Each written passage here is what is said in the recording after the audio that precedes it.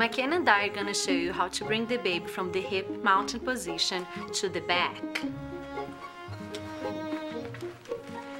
You're gonna center the baby inside the carrier.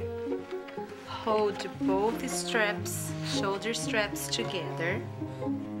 Place your hand in between the straps, in front of one, through the other. And then you're gonna have each strap in one hand. You're gonna bounce the baby around your hips.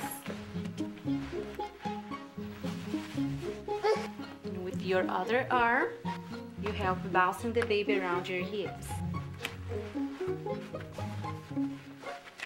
Now you're gonna secure the chest strap.